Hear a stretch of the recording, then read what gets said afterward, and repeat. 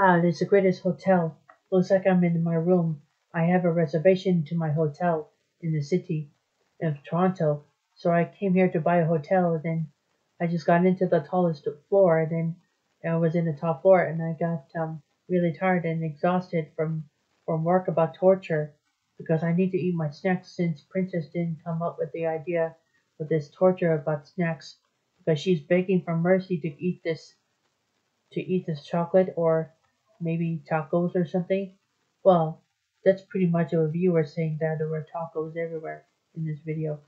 Well then, if I were you, I just have to get this hotel to the top floor. So I, this is my room.